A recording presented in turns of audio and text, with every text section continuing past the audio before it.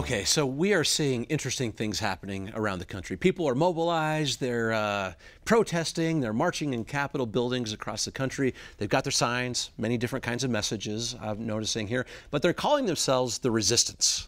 All right, the resistance.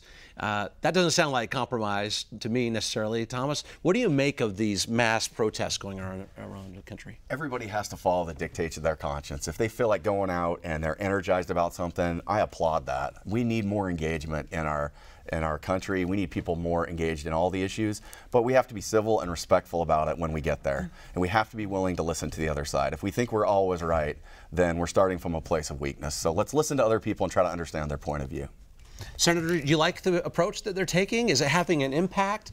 Is it positive, negative? Kind of give us the play on this. I, I, think there's the resistance, but there are also very concerned citizens that feel like their voice is not being heard. And I think at the root of that in, in Utah, I'll just speak for here, because of the gerrymandering when we're reapportioning, mm -hmm. uh, I mean, I live in Salt Lake County and I share the same representative in Congress as the people in Navajo Mountain near the Arizona border. And I think that's what frustrates people. So some of them, yes, they're part of a movement.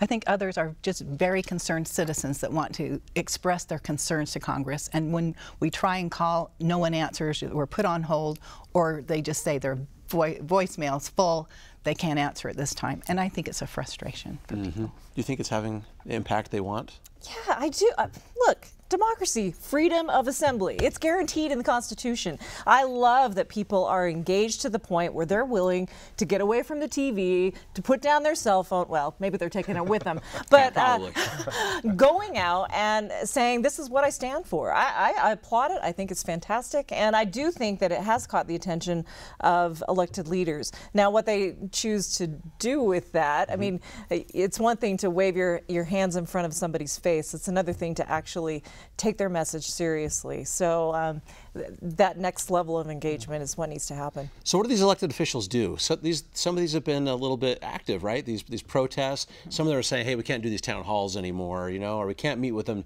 directly. You know, Congressman Chaffetz had his experience here.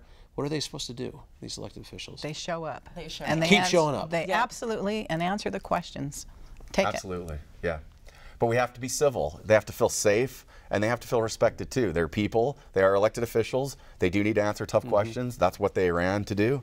But we need civility and we need to listen as much as we're talking or as much as we're protesting. If we all do that, we'll understand each other better and that will create a better result. Did mm -hmm. they need to, during the year, uh, contact their people, have, mm -hmm. have more of them, not just show up once in a while. I think they need to have more communication with their constituents. Uh, always, always helpful. Mm -hmm. Very good. We, had a reporter. A, we had a reporter who actually called uh, one of the senator's offices, and it rang and it rang yep. and it rang, rang. I mean, it's frustrating, yeah. and you can see that sort of bubbling up and building mm -hmm. up, and people. It feeds that. It does. Feeling, doesn't it? It does. Mm -hmm. oh, very, very good counsel. Thank you very much for taking a moment on this very important issue.